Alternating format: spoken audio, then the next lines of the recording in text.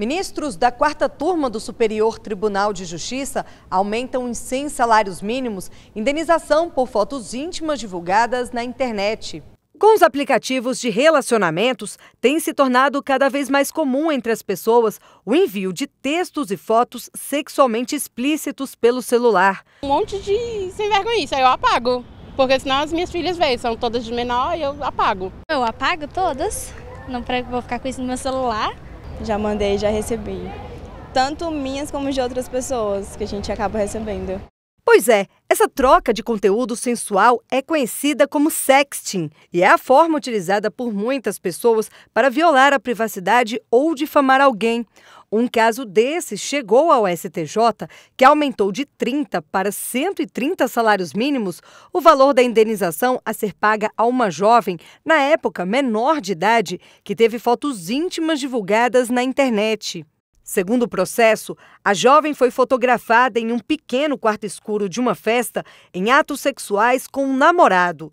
A defesa da jovem explicou que o local era chamado de Cantinho do Amor e que na festa os frequentadores eram convidados a ocupar esses espaços para que se sentissem à vontade e pudessem fazer aquilo que lhes aprovesse. De acordo com o processo, os quartos eram guardados por seguranças que garantiriam a privacidade aos casais. Poucos dias após a festa, as fotografias foram divulgadas em sites da internet com legendas e comentários ofensivos.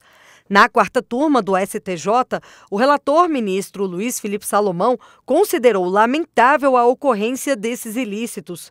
Destacou ainda em seu voto que o caso envolve cyberbullying por ofender moralmente e difamar as vítimas e ainda estimular a pornografia infantil e a pedofilia em casos envolvendo menores. A turma estabeleceu o valor de 130 salários mínimos que devem ser pagos por quem criou os sites e divulgou as imagens.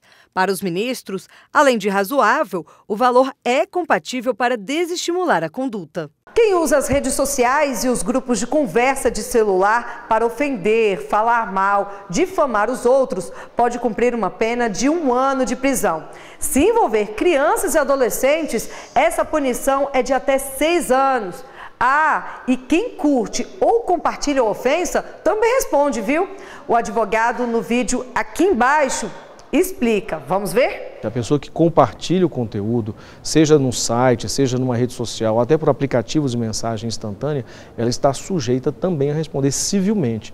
Não há dúvida quanto a isso. Penalmente, talvez possa responder se for compreendido pela Justiça ou pelas autoridades policiais e judiciárias que houve um intuito de, de propagar aquele conteúdo de forma proposital.